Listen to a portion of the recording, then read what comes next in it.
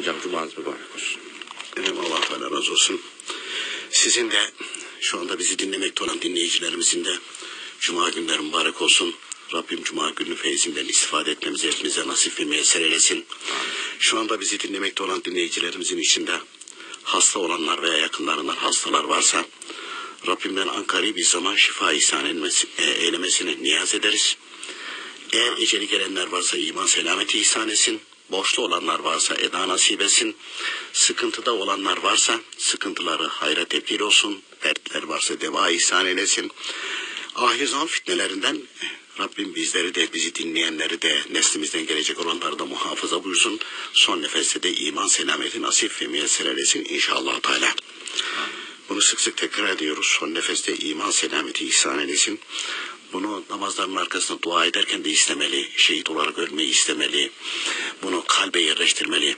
İmam Gazali Hazretleri de yazmışlar. İmam Rabbani Hazretleri yazmış. Bütün ehl sünnet alimleri hepsini yazmışlar. E, Sekerat-ı mevt denilen ölüm hali son çıkıştır. Son geçittir. Otobanlarda var. Son çıkış yazıyor. O son çıkıştır. E, başka yok.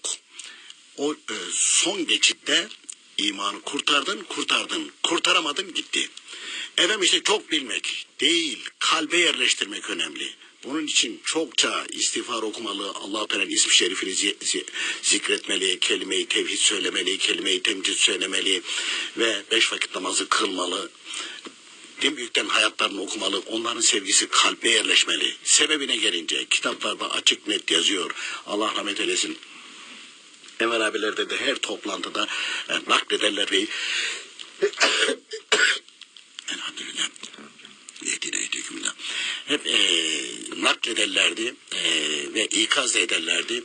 Çünkü e, ölüm anında sekerat-ı mevt halinde akıl devre dışı. Efendim ben işte bin sayfalı kitabı yaladım yuttum. Yok silindi gitti. Ben uzay bilimleri profesörüyüm. Aha. Matematik profesörüyüm. Hepsi silindi. Ki sadece kalpte olan kalıyor. Kalpte olan. Onun için de dili ve gönlü boş bırakmamalı. Allah demeli, la ilahe illallah demeli, estağfurullah demeli, la havle ve la kuvvete illa billahil aliyil azim demeli. Ne kadar? Yüz defa, bin defa, yüz bin defa. Kalbe girsin bu. Kalbe girsin. Sekerat mevt halinde o zaman kalbe bakacaksın. Allah diyeceksin, ruhunu teslim edeceksin. İmanla gitmiş olacaksın ya. Hadise bunlar ibaret. Öyle hani daha önce de hep anlatıyoruz ya babaannemler kuşakları anlatırlardı. Adam duvar ıslası şimdiki gibi yani tuğla yok kerpiçle yapıyorlar. Kerpiçlerin de bizim orada e, büyüklerine ana küçüklerine de kuzu derler. Adamın bir amelesi var. Hep böyle inşaat yapıyor falan. Ana ver kuzu var, ana ver kuzu var, ana ver kuzu var. Ömrü boyunca bunu demiş. Sekerat-ı mevt halinde akıl gidiyor ondan sonra başlıyor aynı şekilde ana ver kuzu ver, ana ver kuzu ver falan. Amelesi de muzipmiş falan eğilmiş kulağına işitme devam eder buyuruyor. Onun için e, ölüm hastasının yanında kelime-i tevhidi sık sık söylemeli. Ama sevdikleri söylemeli. Sevmedikleri söylemesin. Ona inat söylemeyi bilir. Eğilmiş kulağına usta paydos demiş. Ondan sonra adam susmuş. Adam ondan sonra susmuş. Ne yerleşti adamın kalbine? Ana ver kuzu ver. O yerleşti. E sen Allah Allah Allah Allah dersen o yerleşecek. O anda ne gelecek hatırına? Allah gelecek. Hani sizin de söylediğiniz gibi efendim ben uzay profesörüydüm. Efendim ben e, bilmem ne doktoruydum. Bilmem ne cerrahıydım. Bilmem ben ilahiyat profesörüydüm. Bunlar hepsi hikaye hepsi gidiyor. Siliniyor yani. Kalpte ne varsa o mu çıkıyor? Evet kalpte ne varsa o çıkıyor. Onun için hazırlıklı mı olmak lazım? Evet. Peki bunu kim yerleştirir? Kalbe. Bunu kim yerleştirir? Elbette allah Teala. Elbette. Elbette allah Teala. Ama allah Teala her şeyi bir sebeple yaratmalı da. İman etmekte peygamber gönderiyor. Onun vasıtasıyla iman ediyorsun. O peygamber yoksa aleyhissalatü vesselam onun varisleri var. Veya onların kitapları var. Onlar vasıtasıyla oluyor bu. Tarlada buğday meydanı allah Teala yaratıyor. Elbette ama tarla sebeptir. Bulut sebeptir yağmur için. Cenab-ı Hak dilerse bulut da olmasa yağmur yağdırır. Ama sebep olarak bunları yaratmıştır. İlaç olarak. Hastalıklara doktor ve ilaç olması da şifa verir. Ama doktor ve ilacı sebep yaratmıştır. Alimleri de sebep yaratmıştır. Alimlerin de e, mesela onların da iyisi var kötüsü var. Adam alim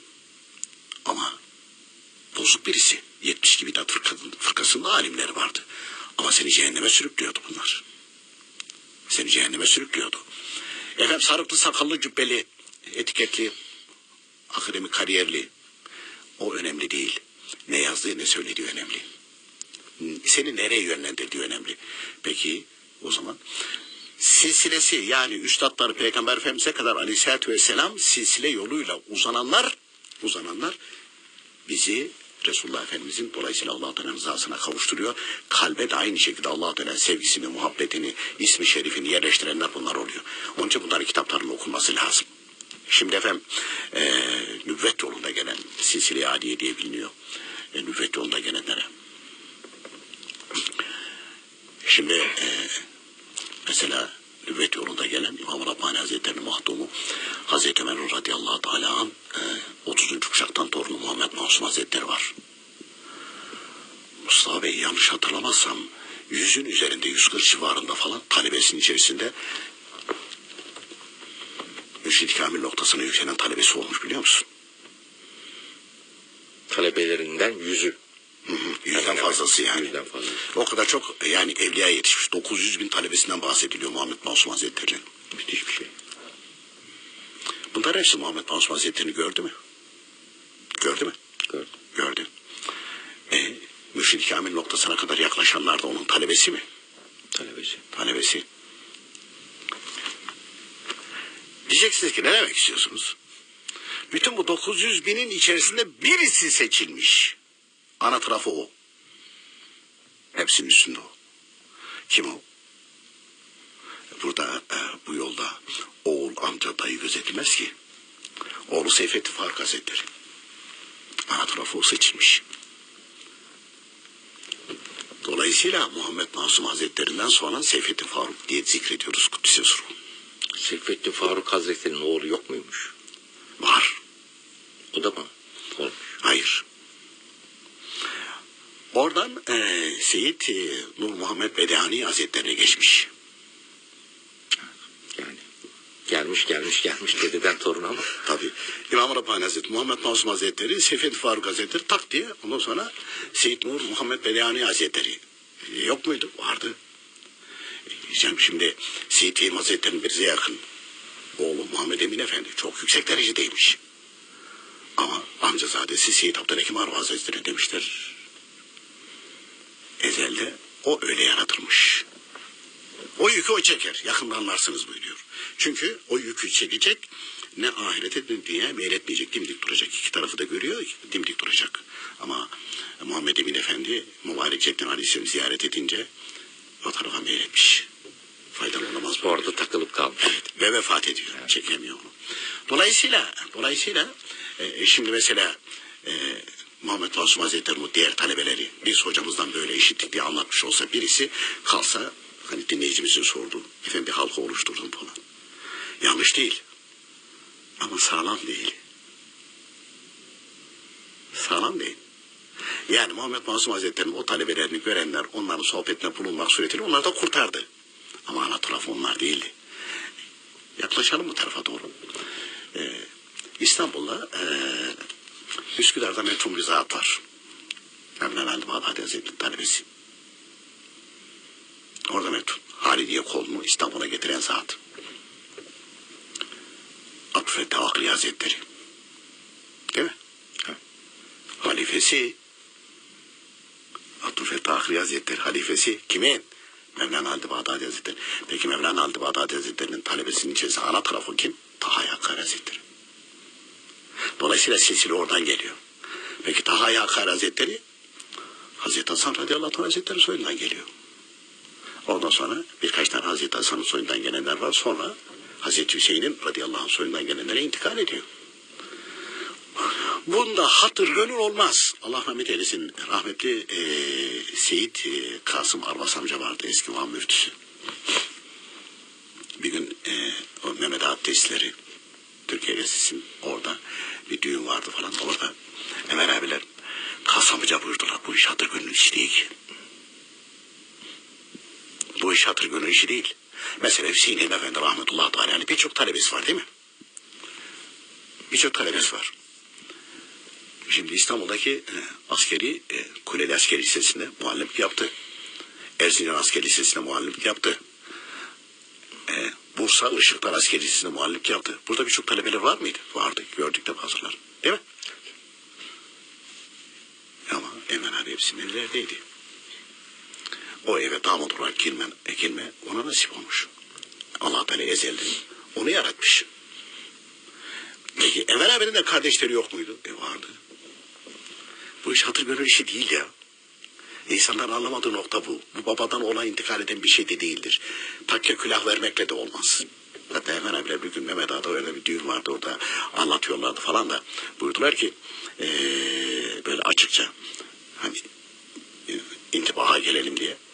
Mübareklerin kalbinde zerre kadar Hüseyin Efendi zerre kadar aynı şekilde dünya sevgisi, dünya muhabbeti yok. Çünkü üstadı Seyyid Abdülhakim Arba Hazretleri hepsini temizlemiş çıkarmış. Hemen abiler buyurdular ki hocamız da buyurdular bu fakirin gönlünden çıkardılar. Hatta bir sözünü naklettiler. Enver Bey'in gönlünde zerre kadar dünyaya muhabbet olsa bu hizmetler durur diye. Müthiş bir şey bu. Efendim işte Emel abilerle beraber askeri kolejisini okuyanlar var. Var tamam. Hani, tamam mübarektir kendine göre derecesi. Amenna bir şey demiyorsun. Ama o değildir o. O, o değildir. Bunu iyi anlamalı, iyi yerleşmeli. Diyeceksiniz niye uzattınız bu kadar? Seyyid Abdülhakim Arba Hazretleri'ni Hüseyin Hilmi Efendi gördü değil mi? Necip Fazıl Kısakürek de gördü. Birisi de Zeki, ben bir silsile yaptım. Benim üstadım Necip Fazıl, bunun üstadı Seyyid Abdülhakim Arba Hazretleri gidiyor. Yanlış mı? Doğru. Ama Necip Fazıl ana tarafa değil. Tamam Seyyid Abdülhakim Hazretleri'ni göze, e, vererek kendisini kurtardı. Onu tanıyanlar işte onun üstadını tanımakla onlar da kurtardı. Ama ezelde seçilmiş değil. O anatrofo işini peki siz mi seçiyorsunuz? Aha. Geliyorlar Osmanlı'dan icazet alıyorlar. bir şey anlatayım da. Şimdi Seyyid Abdülhakim Harman Hazretleri'nin bir kerimesi vardı. Hala Hanım biliyorsun değil mi? Onun bir de kuması vardı. Şimdi o hala hanım Seyide. Bir Seyit'le evli. Ondan sonra bir de ona kuma gelmiyor da Seyide. Şimdi neyse isim vermeyeyim. Rahmetli oldu o da. Ee, o kumanın erkek kardeşi. İşte o hala hanımla falan gitmişler. İstanbul'un bir yerinde orada dondurma getirmişler. Birisi de gelmiş demiş ki kumasın ismini söyleyerek demiş. Bu onun kardeşi sen biliyor musun? Öyle mi demiş. Dondurmayı tuttuydu masanın yere atmış. Geliyor şimdi. Diyor ki sen diyor falan diyor kardeşim misin öyle mi diyor. Ve e, o Seyit olan abiye o ablamızın aynı şekilde kardeşine. Evet diyor hala. Niye diyor sen diyor mani olmadın diyor benim kocamla evlenmesine. o da diyor ki hala ben daha doğmadıydım diyor. Olsun diyor mani olacak.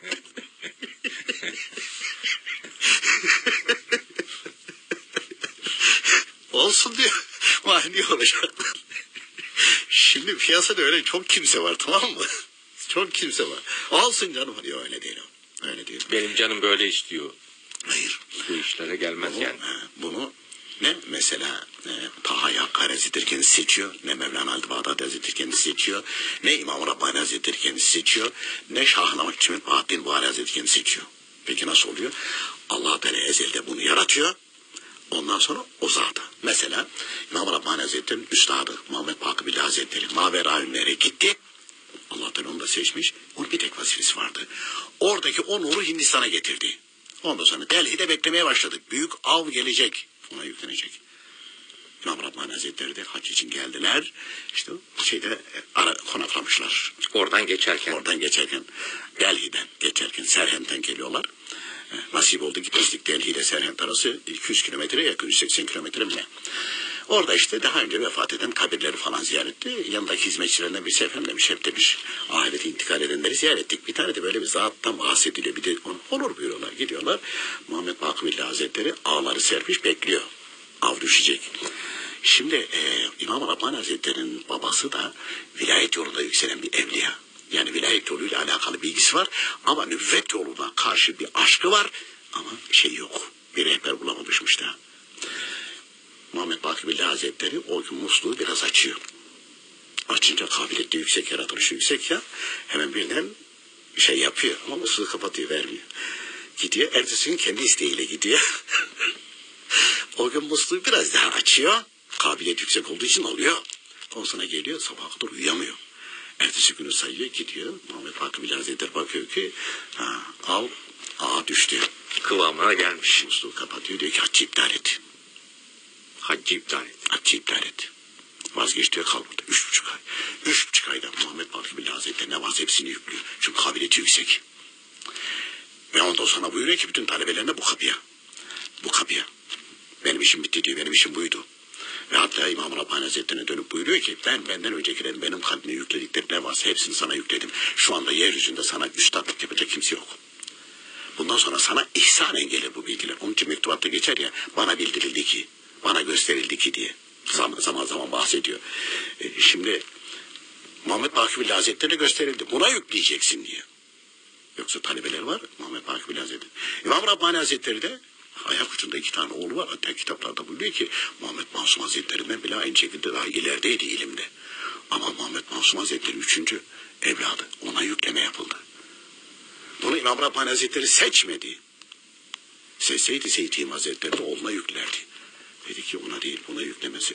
Çünkü Seyyid Abdülhakim Arvaz Hazretleri yani akrabalar ama hatta bir gün böyle daha 7-8 yaşlarında Seyyid İmam Hazretleri görmüş. Abdülhakim demiş nereye sana ne demiş. Unutmamış İmam Hazretleri. Seneler sonra icazet verirken bana bu buyurmuşlar abi. bana bu. Çünkü ona mı yükleme yapılacak? Ona yükleme. Belki efendim e, Seyyid Abdülhakim Arvaz Hazretleri ben rahmetli Kasım amcadan dinlemiştim. Erbil'e inmişti yani Irak'a inmişti. Hicret etmişlerdi Seyyid Abdülhakim Arvaz. Ondan sonra e, işte akrabasıyla beraber 50-60 kişilik grupla döndü. Çoğu da yollarda vefat etti. Diyorlar ki niye gidiyorsun? İstanbul'a. İstanbul'a. Niye gidiyorsun? Seyit'le karşı çıkmışlar. Yaşlı Seyit bizzat ona müdahale etmeyin. O İstanbul'a gidecek Hilmi isminde bir genci yetiştirmekle vazifeli. Tamam? Bu Bilen biliyor yani. yani Osmanlı'nın Mustafa Tököz'ün işi değil bu. Tamam mı? Onların da işi değil. Onların önüne getiriliyor. Onların önüne getiriliyor. Diyor ki bu yetişecek. Ha ona nasihat ederken şey yapılıyor falan. Aldı aldı almadı bu sefer. Sıkarlar. Tokatlarlar. İşte Osman Bedrettin Hazretleri'nin kapıyı kapatıveriyor ya Muhammed Sami, Samini Hazretleri. En sonunda çıkıyor diyor ki kendini ne zannediyorsun diyor. Erzurum müdafasında diyor senin eline gelen taşları kim getirdi? Hızır Aleyhi Rahmen'in heybesinden ekmek yemek suretiyle kendini bir şey mi zannettin? Ya açık açık keramet gösteriyor hala niye tütün içiyor diye takılıyor. Tamam. git diyor nereye gidersen git. Anam. Berbat oluyor. Efendim özür dilerim.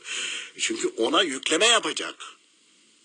Yani yükleme yapabilmesi için de o nefsin aynı şekilde tepesine binecek onu orada tuz buz etmesi lazım. Hala direniyor. E, direnirse tokadı yersin. Peki efendim ikinci bölümde devam edeceğiz. Bir. İsterseniz şunu bir tamamlayıvereyim. Olur hocam, Çünkü buyurun. söyleyeceğimiz şeyler vardı. Tamam. Şimdi dinleyicimizin hatırında kalmasın. Piyasada e, birçok böyle e, şey yapan var e, kendine göre. Mesela e, Silsile oluşturanlar Evet. var yani. Mevlana Halid Bağdadi Hazretleri'nin e, halifesi Abdülfettah Akri Hazretleri'nin bir talebesi. O talebesi vasıtasıyla mesela diyorlar ki o talebesini Ahmet Gümüşhanevi Hazretleri e, o ondan sonra Mev- şey Abdülfettah Akri Hazretleri ondan sonra Mevlana Halid Bağdadi Hazretleri. Mesela bunu gören diyor ki bak diyor Mevlana Halid Bağdadi Hazretleri'nden sonra hep bir. İyi de Abdülfettah Akri Hazretleri mübarek bir zat. Hatta Seyyid Abdülhakim Arvaz Hazretleri İstanbul'a teşrif edince Eshab-ı Kiram'dan sonra İstanbul'un en büyükleri Abdülfettah Akri, Muhammed Emin Tokadi ve Murad-ı Müzevi Hazretleri. O zat bildiriyor. Tamam mı? Mübarektir, yüksektir ama bana trafo değildir. Buradan bağlanmışlar. E, tökezlerler bunlar. Yani o feyzi çekemezler ve alamazlar. E şimdi Necip Fazıl'ı gördü ona bağlandı. Onun hocası Seyyid Abdülhakim Hazretleri. Onun hocası Seyyid İmam Hazretleri. Yanlış mı silsile? Yanlış değil. Yanlış değil. E şimdi Sadat-ı diyorlar, bilmem ne diyorlar falan getiriyor. Mesela Mevlana Halid Bağdadi Hazretleri'nden sonra başka bir isim devreye sokuyorlar. Başka bir isim sokuyorlar. Peki doğrusu hangisi? Ana taraf olarak Saadet Ebedi'de bildirilendir. Saadet Ebedi'de bildirilendir. Yani herkes kendisine göre aynı şekilde bir şey yüklüyor falan. Şimdi bir zamanlar birisi bir telefon açtı. Dedi ki işte falan bir tane bir sarıklı sakalı birisinin bir sözlerini şey yapıyor falan. İşte alim bir zat. Kim dedim söylüyor alim olduğunu? Sen mi dedim falan. Evet dedim falan. Dedim bak alimi alim tanır o zaman sen de alimsin. Hep deyince e, e, yok dedi ben de alim değilim. E nasıl tanıyorsun onun alim olduğunu? Hiç çok konuşuyor. E dedim çok konuşunca dedim alim mi olur? Alim hakla batıl ayrandır. Alim hakla batıl, batıl ayrandır. Efendim Arapçayı çok biliyor da hadis-i şerif ezberlemiş de Kur'an ezberlesin. özellikle zındık olan, mezhepsiz olan, hatta kafir olarak ölen çok. Kafirler bile ezberliyor yerine göre. Casus olarak aynı şekilde faaliyet gösterenler. E, dolayısıyla şeye bakılır. E, kale değil, hale bakılır.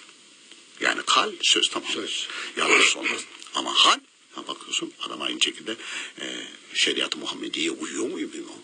Sünnet seniye tabi mi değil mi? Ona bakılır. İtikat düzgün mü değil mi? Ona bakılır. E, düzgün değilse adam havada uçarken görsen bile bir işe yaramaz. Onun için biz öbürlerini inkar etmiyoruz. Ama sağlam yol değil. Hocam bir dinleyicimizin şöyle bir sorusu var. Diyor ki Yasin-i Şerif her derde deva diye biliyoruz. Ee, bir murada kavuşmak için de okunur mu? Şimdi Mustafa Bey, e, İslam alimleri çok şey bildirmiştir. Mesela bazı şeyler var. E, Seyyid Abdülhakim Arbaz Hazretleri yani bize yakın zamanda gelmiş. Tabi insanlar bozulma döneminde bazı şeyleri daha özlü ve net söylemiş. Mesela önceki alimler edebi tarif ediyorlar. Bu zat da tarif etmiş. Edep haddini bilmek diye. Aa, o zaman tamam diyorsun yani. İyice anlıyorsun. Bu zamanki insanlar e, iyi anlıyor bunu. E şimdi biz burada da naklettik mesela. Neyi? E, bizzat biliyor ki allah Teala bir kuluna bir dert bir bela göndermeyi murad ettiği zaman ona bir gaflet verir. Dua bile edemez diyor. Önceki asırlarda yaşayan şey bile bizzat. Ama Seyyid Abdülhakim Arvaz Hazretleri bizim anlayacağımız şekilde bir misal vermişler. Ha diyorsun onu sana. Ne buyuruyor bu zat? Buyuruyor ki allah Teala bir kuluna bir dert bir bela vereceği zaman ondaki akıl gider bir kuşun e, şeyin ağacın dalına konar. Akıl oradayken senin başına gelir sonra akıl bir gelir. Ana ben niye vurdum bu duvara? Niye ben bunu böyle yaptım demeye başlıyorsun. Ama geçti o. Yani bizim anlayacağımız şekilde yani hani buyuruyor ya olacakla öleceği çare yok. Evet. Tek bir takdiri değiştirmez. Bu tek bir takdiri değiştirmez. Dolayısıyla e, şimdi e, Yasin-i Şerif. Yasin-i Şerif e, yani Kur'an-ı Kerim Evet, hakkında-. Kur'an-ı Kerim hakkında önceki asırda e, fazi, e, e, surelerin faziletleri yazılmış. Ondan sonra şu ayet-i kerimenin şifayetleri bile ayrıca mesela şey, ayat-ı hırz yazılmış. Hatta Hüseyin İlmi Efendi de bastı bunları. E, yayınladı da. İslam Ahlak kitabında şifayetlerinde ayet-i hırz da aynı şekilde bildirdiler. Yazdılar. Hangi ayetler olduğu da bildirildi. İlmi halde de var. İlmi halde de var. Bunlar aynı şekilde nasıl yazılacağı, nasıl aynı şekilde yapılacağı bunların hepsi bildirildi. Bunlar özel olarak aynı şekilde haklarında hadis-i şerif var, şeyler var. Resulullah Efendimiz Aleyhisselatü Vesselam bunlar okumuştur, hastalar okumuştur. Ayrıca tasdif edilmişti. Şimdi gelelim. Seyyid Abdülhakim Arfasi Hazretleri'nin bir sözüne. Şimdi bütün İslam alimleri tasdifte yapmışlar, anlatmışlar. O zat hepsini içine alacak şekilde bir şey buyuruyor. Kur'an-ı Kerim'in her ayeti değil, her kelimesi de değil. Her harfi şifadır buyuruyor. Bitti.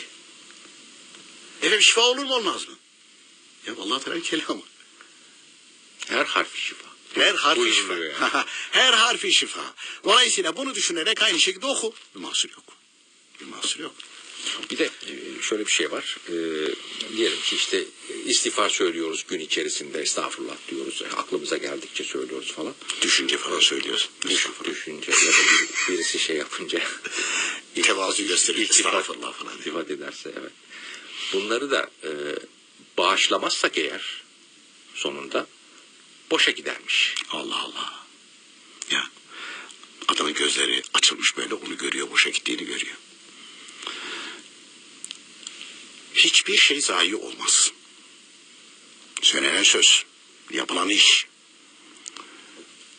okunan Kur'an-ı Kerim hiçbir şey zayi olmaz. Peki nesine bakılır? Mesela. Nesine bakılır? İnnemel a'malu bin niyat. Hadis-i şerifini uzun uzun açıklamışlar. Bu Kur'an-ı Kerim'i ne niyetle okudu? Bu namazı ne niyetle kıldı? Bu zekatı ne niyetle verdi? Bu emr-i marufu hangi niyetle yaptı? Bu kitapları hangi niyetle dağıtıyor? Bu istiğfarı hangi niyetle söyledi? Ona bakılıyor. Uzun uzun mesela riya kelimesini gizli işten sakınınız. Nedir ya Resulallah? Riyadır buyuruyor. E, dolayısıyla ölçü belli. Sen nereden biliyorsun arkadaşım onun aynı şekilde böyle boşa gittiğini bağışlamadığın zaman hiçbir kitapta yazmaz bu. Uydur uydur söyle. Onun için de biz ısrarla diyoruz ki böyle kendi kafasına göre, nefsine göre insanların şekilde gönüllerini hoş edip kendisine bağlamak için uğraşan böyle sahtekarlar, böyle katlı tarik, yol kesici eşkıyaya aldanmamak için aşılanmak lazım. mRNA aşısı mı yapacağız? Peki nasıl yapacağız bu aşıyı? Nasıl yapacağız bu aşıyı? Efendim e, Hakikat kitabın yayınladığı kitapları okumak suretiyle. Bunun başka çaresi yok Mustafa Bey. Bu zamanda kendimizi, çoluğumuzu, çocuğumuzu ateşten kurtarmak için sadece ebedi kitabı, İslam ahlak kitabı, e, ondan sonra e, kıyamet, ahiret kitabı, menakıb-i şahriyari, hüsn şevahidün ve e, faydalı bilgiler. Bu kitaplar okunmadığı müddetçe ve buradaki bilgiler zihnimize yerleşip bunlarla amel edilmediği müddetçe mümkün değil kurtulmak. Çünkü fırtına çok ser, sert esiyor. Hele bir de altyapın yoksa fırtınaya da gerek yok. Ufak bir rüzgarda gidiyorsun zaten. Savrulup gidiyorsun. Ufak bir rüzgarda savrulup gidiyorsun. Ama kitaplar okunursa altyapın oluşur, oluşur, oluşur. Hele faydalı bilgiler. O şablon belli olur. Ondan sonra önüne çıkan sarıklı, sakallı, etiketli, kariyerli, bilmem neli, mevkili, makamın falan hiçbirisine bakmasın onu sana. Bol reytingli. Ha, böyle onu sana bakarsın. Bu ne diyor, ne yazıyor? Kendine mi konuşuyor, mi esas oluyor? Naklederken de aynı şekilde gerçekten naklediyor mu? Yoksa kendi fikirlerini mi karıştırıyor? Ondan sonra hemen çabucak anlarsın. Hocam çok teşekkür ediyoruz vermiş olduğunuz bilgilerden dolayı. Biz teşekkür ederiz efendim.